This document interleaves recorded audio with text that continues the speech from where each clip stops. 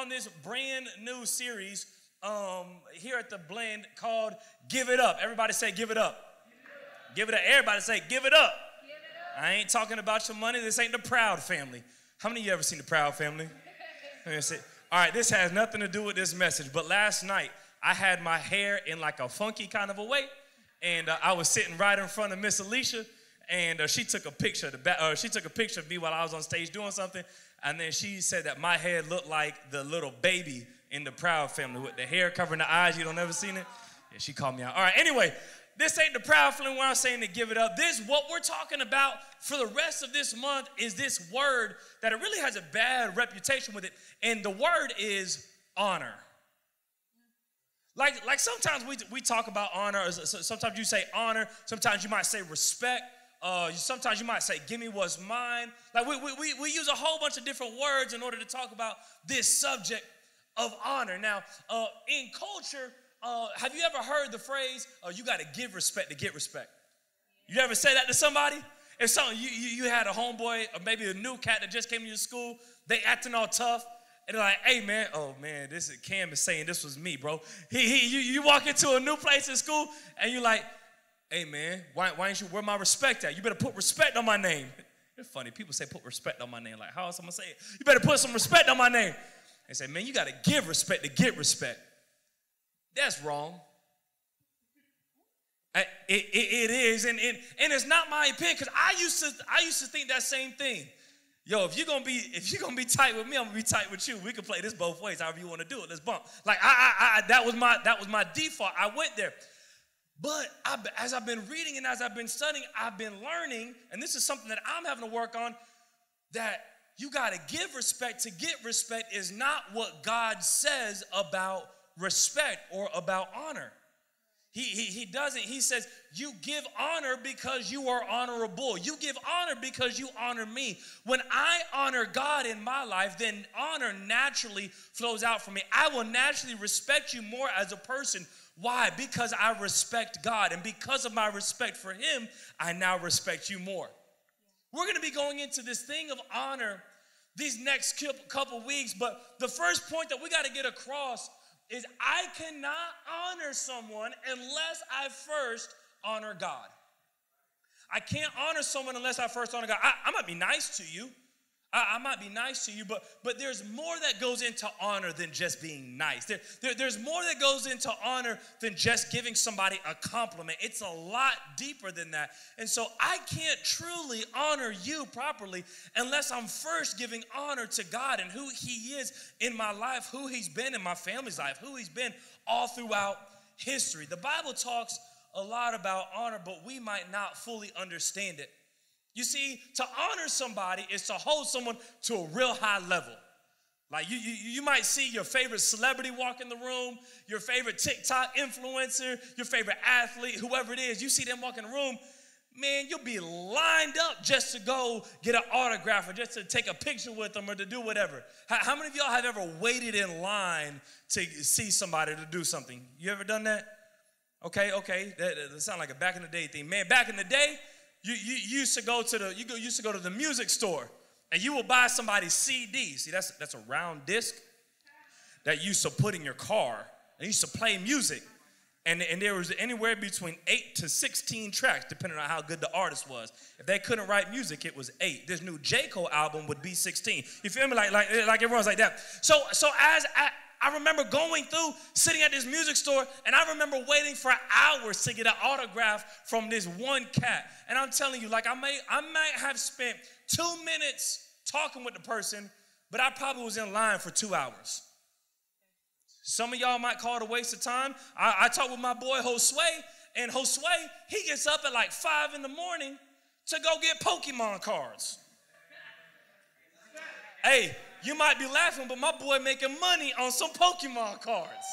And so listen, so obviously he honors the Pokemon game because he's realizing, hey, there's a benefit that I get when I do this thing. When we honor something, we hold something to a value. It has value. It, it, it's worth something to us. Now, as I was going through, when I thought of dishonor, I used to think of cussing somebody out. Like I, w- I would think of like the draftsman. Like dishonor would be you coming up and doing like what Kevin Hart said, giving me a bum bump. You know what I'm saying? Like, like, like you can't touch on my face or, or stealing, ooh, stealing one of my chicken nuggets right out from under my nose. Like that's dishonor. You feel me? But dishonor is treating something, someone as ordinary or average. Okay?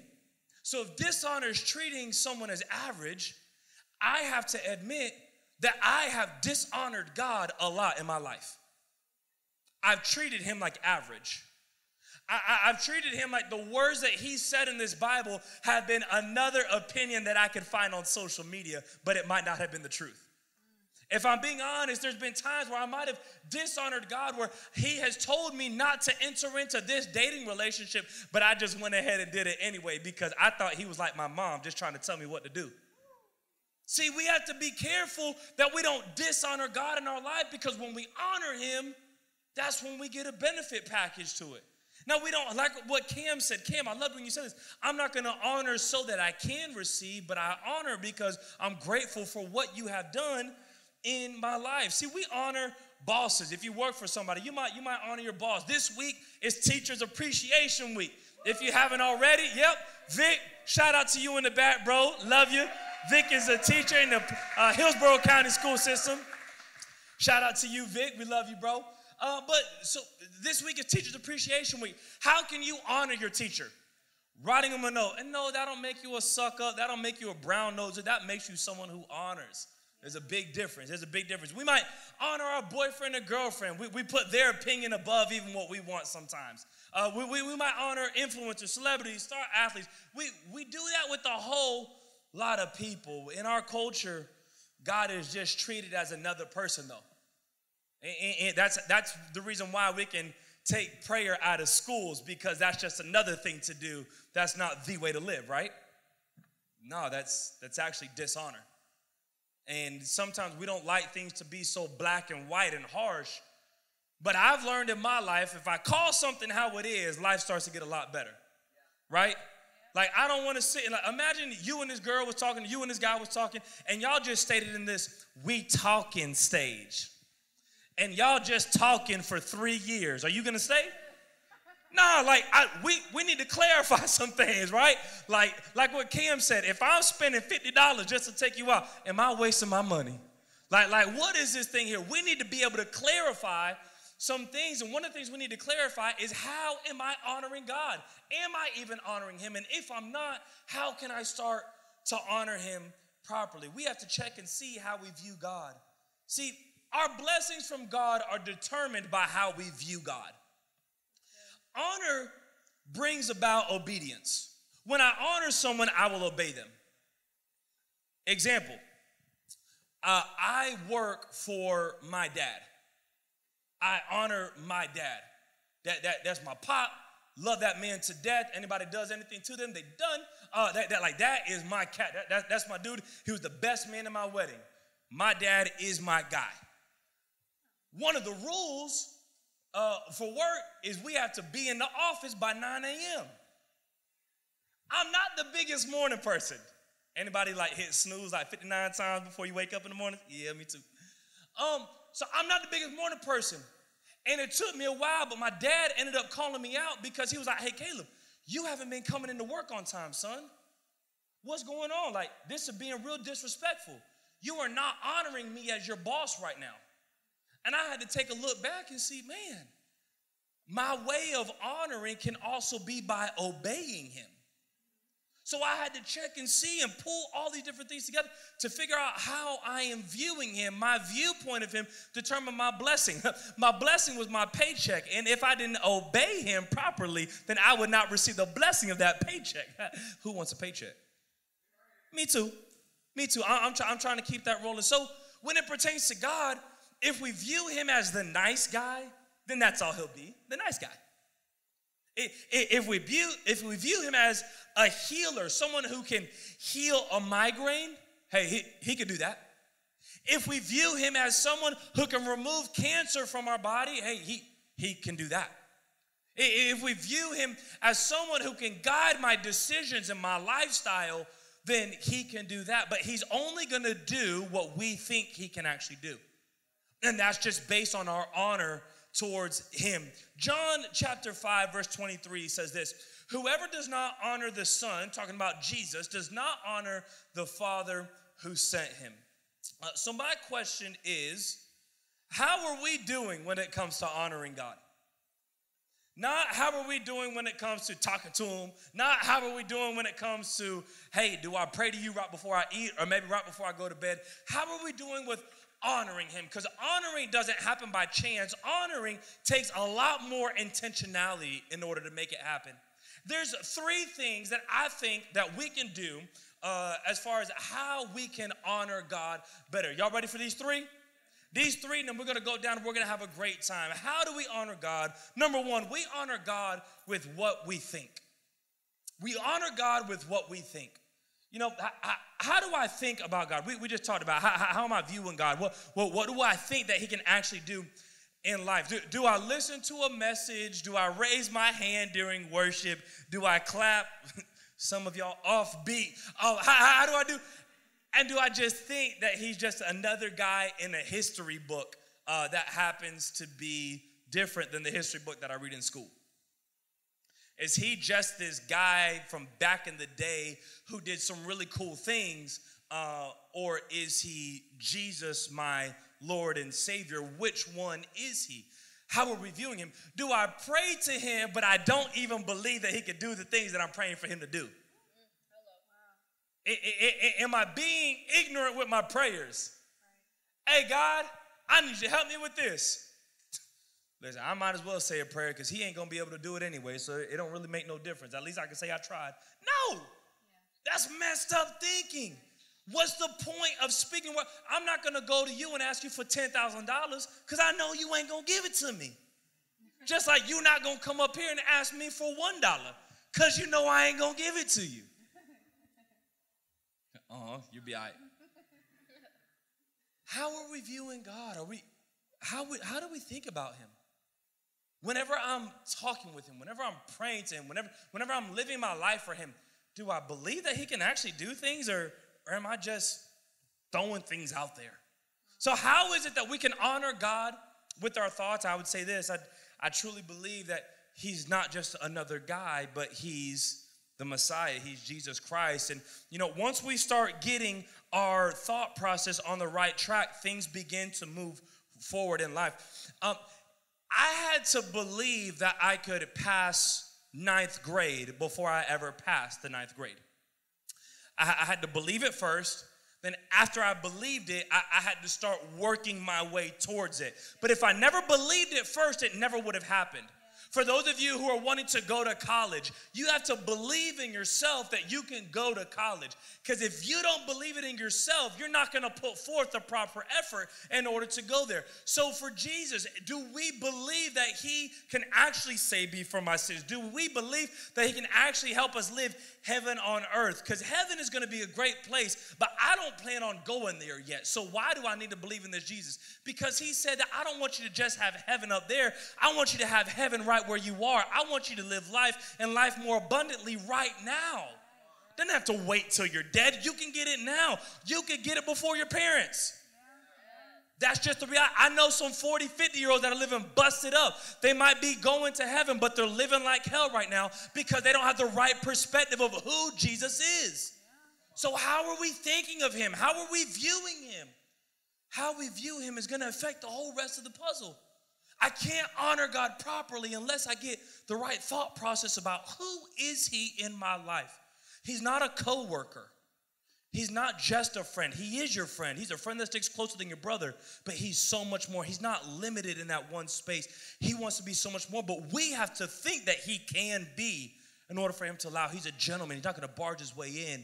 How do we think about him? That's what he'll do. So, number one, we honor God with what we think. Number two, we honor God with what we say. Words matter. Words matter. The Bible says that there is life and death in the power of the tongue. Words matter. You know, it was because of my words that I was able to go on a date with Liz. I had to ask her. It don't mean nothing if I kept it up here. Thinking that I wanted to go on a date with her was great. That was the first step. But now I had to start doing something. I had to start saying something. Otherwise, she can't read my head. It's scary in here. Don't nobody want to read my mind. It, it, takes the next step. So, hey, number one, how do we honor God? Okay, we, we get the right thought process on Him. But now, after that thought process, there's another step. The, you went from ninth grade, now there's 10th grade, right? There, there's another step, there's another level to this stuff. There's another level. We got to start speaking. How are we talking about Jesus? How we talk about God? See, we talk about the things that we're interested in, right? Yeah. Uh, how, how, many of you uh, like sports and talk about sports? Okay. How, how, how many of you like fashion? You talk about fashion. Okay, okay. How many of you like social media and funny videos? So you talking about like TikTok and Instagram and all that? Oh, okay, cool. See, we we talk about what we enjoy, right? Like example, I go back to my boy Josue. He he was telling me a little bit about some of the Pokemon cards, and I talked to him probably for a good like two minutes, and then after that, I was tapped out because it just doesn't interest me. That, that's just not my thing. Some of y'all sneakerheads. So you just like to talk about sneakers 24 7. Yo, that's real smooth, but I can't talk about sneakers 24 7. I know enough to get me in trouble, not to keep me moving. And so we, we talk about what we're interested in. Do you talk about Jesus? If we talk about what we're interested in, then I wonder, am I interested enough in Him to talk about Him? How, how, how, do, how do I express to people who Jesus is. And this is more than just saying, like what the series that we did with Viral Jesus when it comes to sharing who Jesus is. This is just about can I allow Jesus to be a part of my daily conversation without it being weird and awkward? Like, hey, I could talk football with you all day long, and then I could talk about Jesus and then butt right back to football, and I didn't skip a beat. And it's not, I'm not looking at you like, okay, so I'm gonna bring up Jesus now. no, you ain't gotta be weird about it. I get the I get the honor and the privilege to go to Lakeland Christian every Tuesday and to Lake Gibson every Wednesday and to talk with the sports with the football teams at both of those schools. And while we're there, hey, listen, I'm gonna talk football to you all day long. I love football. I'm gonna go Jesus real quick, and then we're gonna bounce right here back to football. Why? Because they're both in my life. And for me to have Jesus in my life doesn't mean that I can't have fun. It doesn't mean that I can't have hobbies. It doesn't mean that I can't have other interests. He wants to be a part of our life. So, how are we talking about him? You see, the more we talk about Jesus, the more we will grow to honor him. You know, they say whenever you're whenever you're in a dating relationship or whenever you get married, they say one of the best ways to keep your mindset focused on that one person and not on that person you see on Instagram or not on that person that that new person that just came to school is by talking about your significant other in a good way, not gossiping about them, but talking about them in a good way. Man, I, I, I talk about Liz to my boys all the time. It's not that I'm trying to convince myself that I love her. It's not that I'm trying to convince them how great she is. I just want her to stay on my mind. And the more she's on my mind, the more I will honor her. So now the decisions that I make will honor her. The places that I won't go are to honor her. The things that I don't say to other women are to honor her. The, the way that my eyes don't look at some women are to, or at women is to honor her who we talk to, who we look at, it shows it shows honor. So how are we talking about Jesus? He wants to be talked about. He wants you to bring up his name. When you're dealing with something, can you say, hey, I need Jesus' help with this? And not it not be a joke? Can you say, hey, Josiah, do you, do you mind praying for me real quick? Because I'm having a hard time without it being anything weird, the more we talk about him, the easier it'll be. But it takes us taking that step. Once we get the right perspective and the thought of Jesus is the King of Kings, the Lord of Lords, the Messiah, he's the guy that saved me from tearing my life up on my own. Once we get that, then I can start talking about him saying, Man, Jesus is good. God, I'm so grateful. I don't pray before I eat just because my mom and daddy told me to when I was a little kid. I pray before I eat because I'm understanding that God has blessed me with the ability to go eat Chipotle today and be able to get extra guac. I, I, pray. Listen, and as funny and as and as humorous as I, I like, I'm trying to make that. Like, I'm also being real because I remember what it was like not being able to buy Chipotle. I mean, I'm just being real. Like I, I, I remember what it was like. So, so why not just give thanks for what, for what I have been able to do? When we talk about Jesus more, it's going to put him more in our mind, which is going to help us honor him in the decisions that we make. So, number one was we got to honor God with what we think. Number two, we got to honor him with what we say. And number three is we got to honor God with what we do. So it starts here in our head. The Bible says, as a man thinks in his heart, so is he. So it starts right here. Once my head gets right and I get the right viewpoint of who he is, bet I'm gonna start talking about him differently. And because I'm talking about him, it's gonna make my actions change and look a little bit different. Some of my boys might come up to me if they knew me back whenever I was at my first university. They might say, Hey, Caleb, you doing things a little bit different. You're right, I've been trying real hard to do things a little bit different. Things should change when we're following Jesus and honoring him in that way. So I want to ask you this question Do you honor God with your actions? Do you honor God with the words you use with your friends? Do you honor God with that private message on Snapchat? Do you honor God with all the different uh, videos and TikToks and all this and all that that go on on social media? I'm not saying you aren't, I'm just asking you if you are. I'll tell you, I have not honored God in all of those areas. I haven't. I'm grateful for His grace, but that doesn't mean that I can abuse it. I'm mindful that he gave me mercy, but I'm also mindful that God ain't no punk and he ain't gonna be fooled, right? And so, how can I make sure that my actions are changing and they're actually honoring him? Do I live the way that he said to live? Do I do the things that he said to do? In my dating relationship, do I keep the boundaries that he said to keep boundaries in? What am I doing? If I'm gonna honor God, I have to honor him in what I think, what I say, and in what I do. See, I, I can't know how he told me to live, though. I can't do what he wants me to do unless I read it. Yeah. He gave us this Bible for a reason. He said, I don't want you to having to do it and then mess up and then do it and then mess up time and time again. He said, that's not what this is for. I gave you this as an instruction manual. And guys, we have a hard time reading instruction manuals. Like we try to just do it ourselves.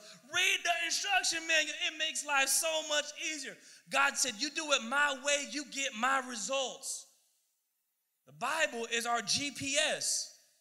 God's positioning system, trying to walk us through this thing of life. And if we buy into it, then He'll help navigate what road. You don't know what major to go into. You don't know what college to pick. You don't know if you should go to college or if you should take a year off. You don't know what you're going to do when it gets to high school. What friend group am I going to link with? Please read the Bible. Listen to what the Bible says. And it's not like God is going to say, stay away from all the jocks. Be friends with the band guys. You're gonna date the first chair flute. And the girl in your second period class who's really good at drawing is gonna be your best friend. Like, it, it ain't saying it like that. But what you do is you find out when I start lining my life up with God, I start seeing how other people live their life. And I'm not saying that I'm better you or worse than you, but this is what I'm trying to do. So I want people who are trying to do the same thing that I'm doing in my life to help me keep going and pushing forward. And again, honor brings obedience. So when I'm truly honoring God in my thoughts, then what I say, then what I do, I will be obeying what God said. And when we obey God, the speed of our obedience determines the speed of our advance in life. You want to hit the next level of life? Start obeying God faster. You want to start hearing from God more quicker? Start obeying God faster. You want to know what that next step, that next direction is in life? Start obeying God, and He will begin to give you that at a much faster rate. Everybody stand to your feet. In the book of Joshua, in the book of Joshua, uh, Joshua, there's this story of uh, Jericho. Have you ever heard of that story before? Jericho. So, so basically, um, God told God told the Israelites. He told Joshua, "Hey, you guys are supposed to take over Jericho, and this is how you're going to do it. Not not by army, not by fighting, not by doing any of that. This is what you're going to do you're gonna march around the entire city for six days, one time per day, and you ain't gonna say nothing. Now, their army might be up top on the wall of Jericho. They might be throwing things. They might be saying things. They might be cussing you out. But you can't say nothing. Don't do nothing. Don't, don't wave hi to them with one finger. Don't do none of that. Like, I just need you to, like, shut up and walk. That, that's what God basically said. And so they did. And then God said, on the seventh day, what I need you to do is I need you to walk around seven times.